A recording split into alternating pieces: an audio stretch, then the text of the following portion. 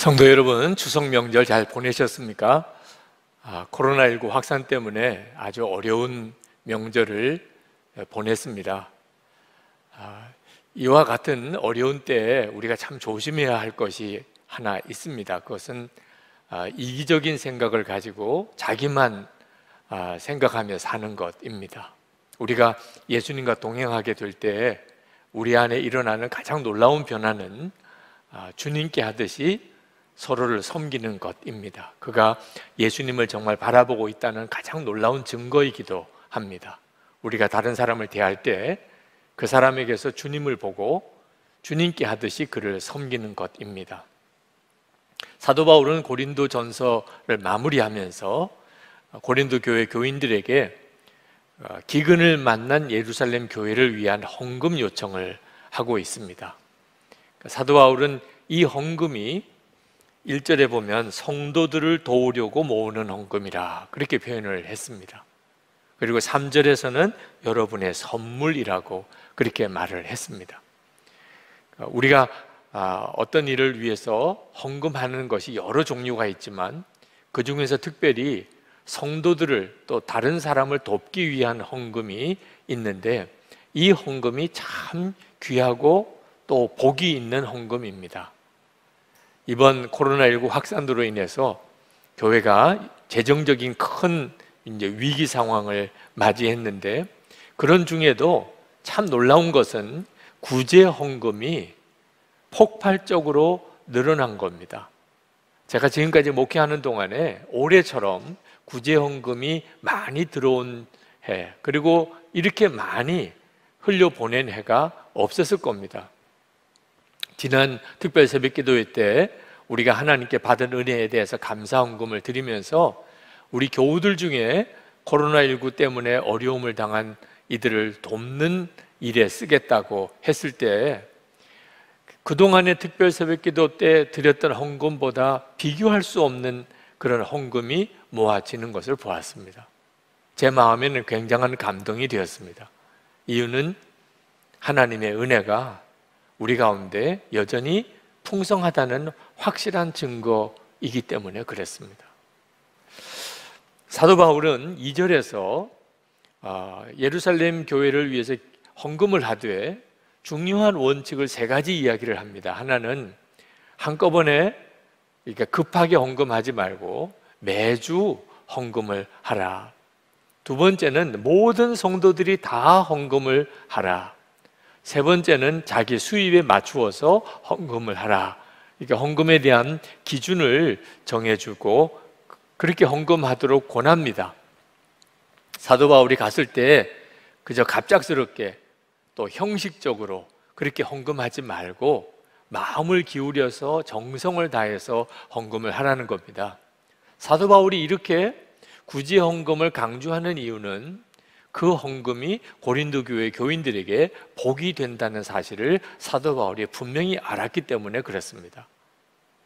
예수님께서 누가복음 6장 38절에서 이렇게 말씀하십니다. 주라 그리하면 너에게 줄 것이니 곧 후이 되어 누르고 흔들어 넘치도록 하여 너에게 안겨주리라. 너희가 헤아리는 그 헤아림으로 너희도 헤아림을 도로 받을 것이니라. 우리가 어려운 사람을 위해서 주는 것은 사실은 우리가 복을 받는 것이라 예수님께서 그렇게 말씀하셨습니다. 정말 복이 있는 사람은 정말 주는 사람입니다. 재정도 주고 용서도 주고 사랑도 주고 주는 사람입니다. 그러면 하나님께서 후이되어 누르고 흔들어 넘치도록 안겨주겠다는 것입니다. 사실 공산주의 혁명이 일어난 이유는 우리가 주는 일에 대해서 주님의 말씀을 귀 기울여 순종하지 않았기 때문에 그렇습니다. 공산 혁명이 일어났던 제정 러시아 그 당시에 그 러시아 사정을 살펴보면 그릇 하나에도 십자가 문양을 새겼을 정도로 온 나라가 정말 예수를 잘 믿는 것처럼 보였습니다. 그러나 러시아 교회와 러시아 귀족들이 그렇게 어렵고 가난한 농노들을 향하여 주는 마음이 없었습니다.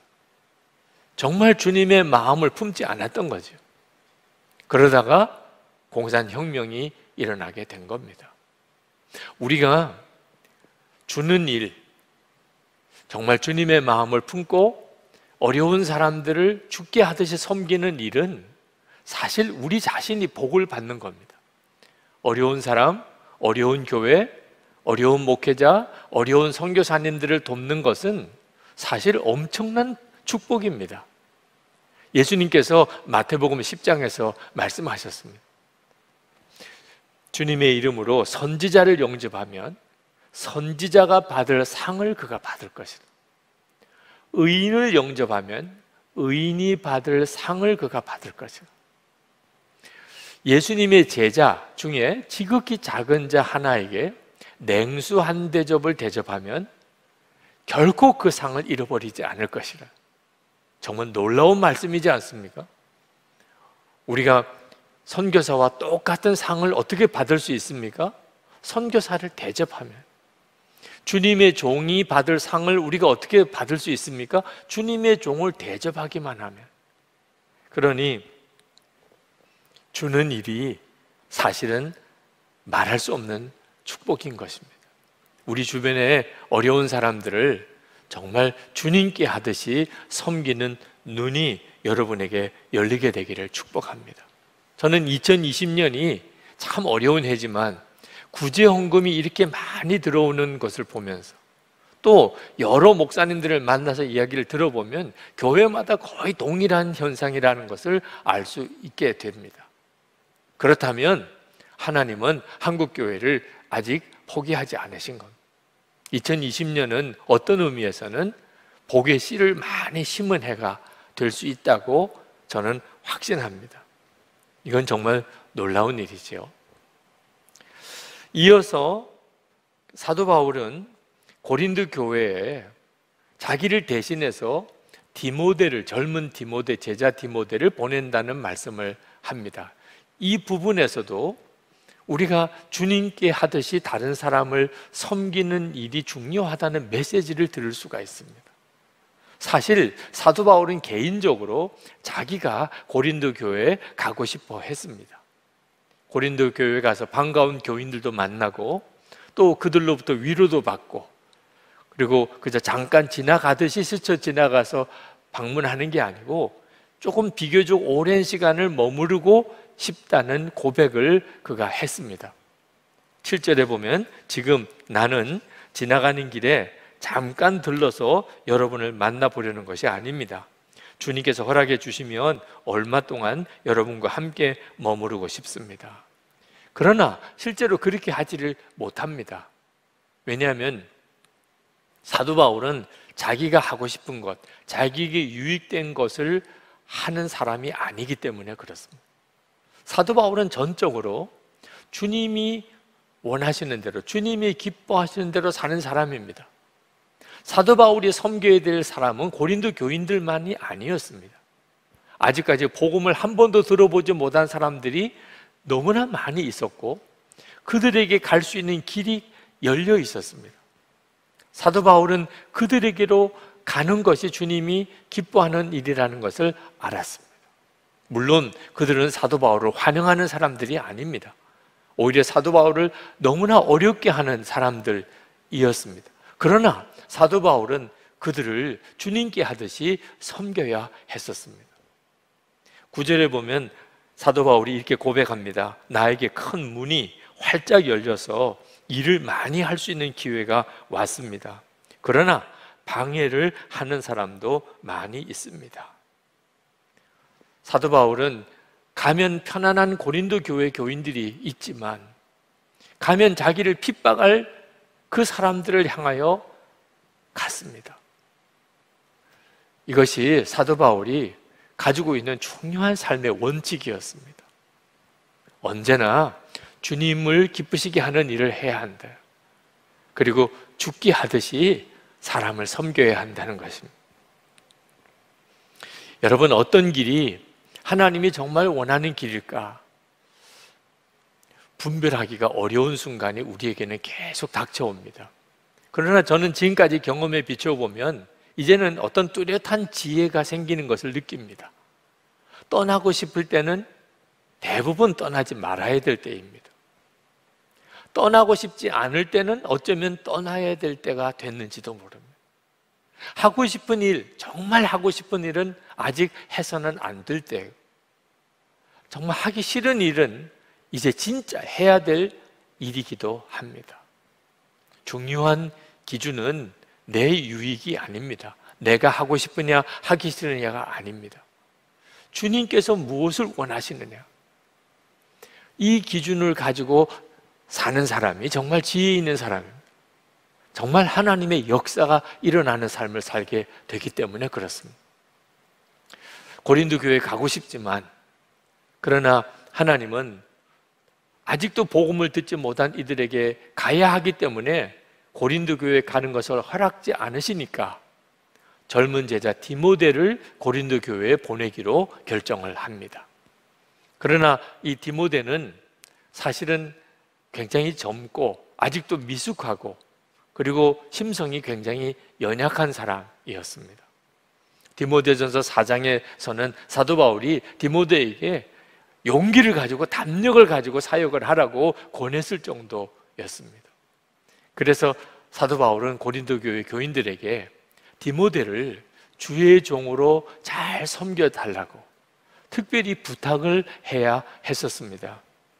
10절에 보면 디모데가 그리로 가거든 아무 두려움 없이 여러분과 함께 지낼 수 있도록 보살펴 주십시오. 그도 나와 마찬가지로 주님의 일을 하는 사람입니다. 그런데 이 부탁은 사실 사도 바울도 힘들고 디모데도 힘들고 고린도 교인들도 힘든 일이었습니다. 여러분 한번 생각해 보시기 바랍니다. 담임 목사가 신방 오기를 원하는데 담임 목사가 어느 전도사님을 대신 보냈다면 그 교인 입장에서 그 전도사님을 주님께 하듯이 그렇게 영접하기 쉽겠습니까? 지금 그와 같은 처지가 된 겁니다. 지금 사도 바울이 오기를 고린도 교인들은 간절히 원하는데 아주 젊은 디모데를 보낸 겁니다. 그리고는 그 디모데를 주님의 종이라고 그렇게 잘 대접을 해달라니 고린도 교인들이 과연 이것을 어떻게 받을 수 있었을까요? 지금도 우리 시대에 지금 온라인 생방송으로 이렇게 예배를 드리는 상황이 되니까 어느 특정한 목사에게로 설교를 듣는 사람들이 쏠리는 경향이 있습니다. 우리가 너무나 사람을 주목하고 있는 것입니다. 사실 목사나 전도사나 글을 쓰시는 분은 주님이십니다. 우리에게 있어서는 그 종이 중요한 게 아니고 그 주인이 중요한 것이죠. 우리가 정말 주님을 바라보는 눈이 열렸다면, 그렇다면 어느 목사나 어느 전도사님을 통해서도 우리는 은혜를 받을 수 있습니다. 지금 우리에게 있어서 그 눈이 뜨여야 하는 것입니다. 정말 중요한 때에 우리가 있습니다. 사실 사도 바울은 디모데보다도 아볼로를 먼저 고린도 교회에 보내려고 했습니다. 아볼로는 고린도 교회의 사도 바울의 후임자였습니다. 그는 성경, 구약 성경에 대해서도 아주 해박한 사람이었고, 학자였고, 설교도 아주 잘했고, 말에 능이 있었고, 유대인 학자들과 같이 논쟁을 할 때도 늘 이기는 사람이었습니다.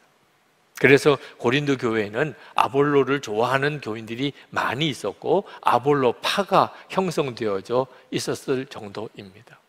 어떤 뜻에서 보면 아볼로는 사도 바울과 경쟁자적인 입장에 있을 수도 있는 사람입니다. 그런데 사도 바울은 아볼로를 고린도 교회로 보내려고 했습니다. 당신이 가서 고린도 교회의 어려운 문제들을 좀 해결해 주고 오세요. 사도 바울은 인간적인 어떤 시기심이나 경쟁심이 없었던 사람이었습니다. 그는 오직 어떻게 하면 주님의 일이 더 잘 될까?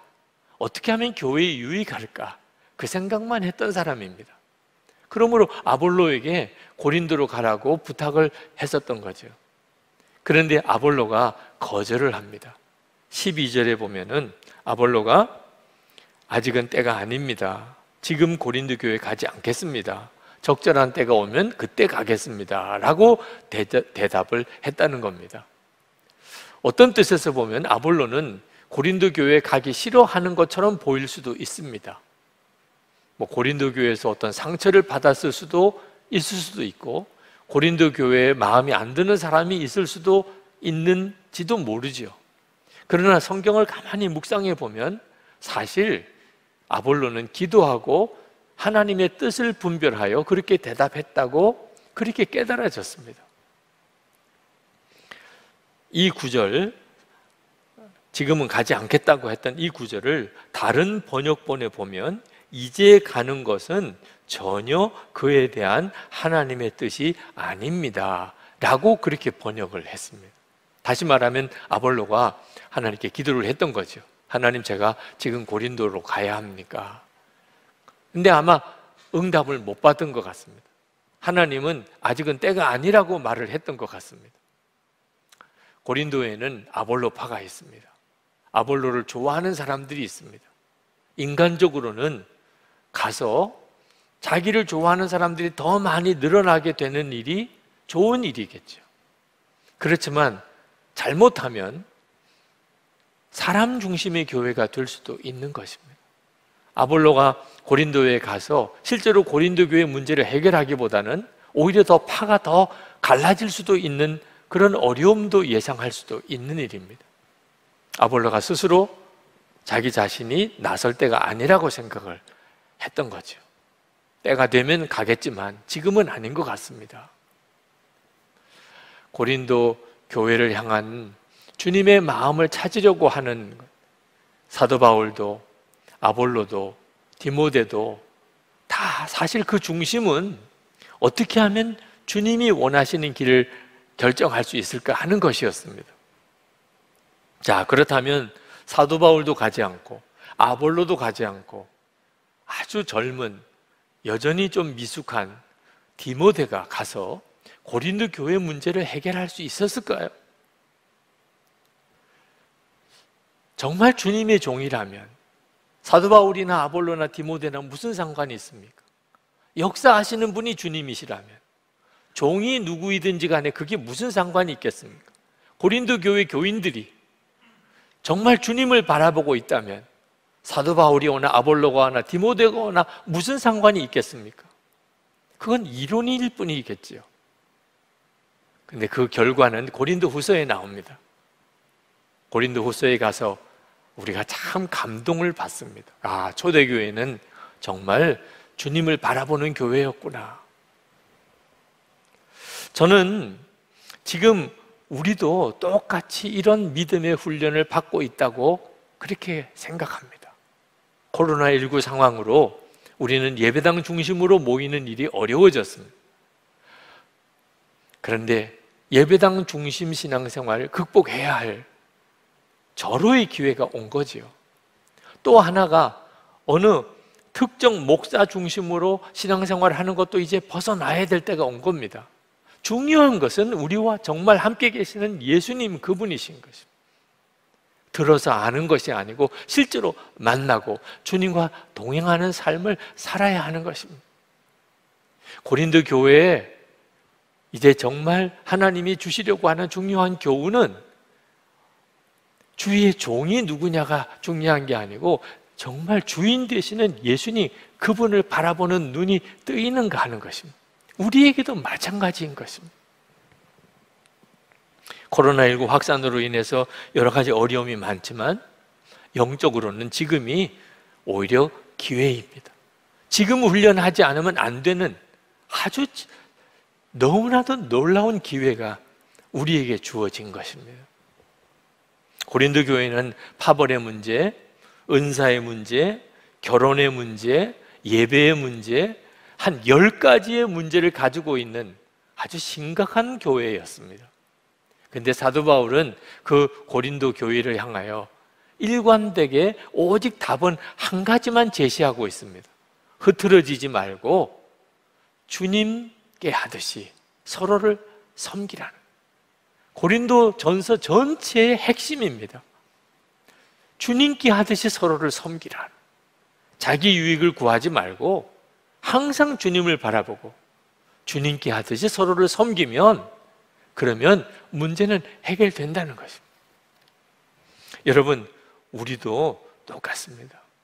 지금 형편이 힘들고 여러 가지 상황이 어려워지게 되니까 사람들은 서서히 이제 자기만 생각하게 됩니다. 다 이기적인 생각만 하게 됩니다. 그래서 오히려 가정 안에 분란도 일어나고 또 교회 공동체 안에도 시험이 많이 생깁니다. 사람들은 다 자기만 불행하다고 생각합니다. 자기만 유난히 어렵다고 그렇게 여깁니다. 불평하고 원망하고 낙심합니다. 이럴 때 우리의 살 길이 어디 있습니까? 정신 똑바로 차려야 합니다. 이럴 때일수록 우리가 정말 예수님을 바라보아야 합니다. 그분만이 우리를 정말 살릴 수 있습니다. 우리가 어떻게 살 수 있는지, 우리가 어떻게 살아야 되는지를 가르치실 수 있습니다. 그리고 주님께 하듯이 서로를 섬기는 겁니다. 그러면 우리 자신도 살고, 우리의 가정도 살고, 우리의 교회도 살고, 우리의 직장 일터도 살고, 우리 나라도 살릴 수 있게 되는 것입니다. 그렇게 살아보려고 우리가 매일 주님과 동행하는 일기를 써보자는 것입니다. 계속 주님을 주목하고 주님께 하듯이 서로를 섬기며 살기 위해서 그렇게 하자는 것입니다. 그리고 그것을 서로 나누면서 그 삶을 꾸준히 살아보자는 것입니다. 지난 수요일 수요 예배 때 비서로 저를 도와주시는 이영주 목사님께서 설교를 하셨습니다. 설교하시는 중에 처음 비서로 임명을 받았을 때 많은 사람들이 자기를 볼 때마다 담임 목사의 안부를 묻는다는 겁니다. 혹시 혼자 있으면 담임 목사님은 어디 계시느냐? 담임 목사님은 괜찮으시냐? 아, 자기를 보고 담임 목사에 대해서만 질문을 하는 것을 들으면서 당황해하고 처음에는 그게 너무 이상했었다고 어, 그런 말을 하는 것을 들었습니다. 비서가 된다는 것은 그와 같은 그런 처지가 되는 거죠. 제가 그 설교를 들으면서 저 자신을 생각했습니다. 저는 주님의 종입니다. 그러니까 사람들이 저를 보면 주님에 대해서 물으시는 거구나. 주님은 어떻게 하시기를 원하실까요? 주님은 어떤 마음이실까요?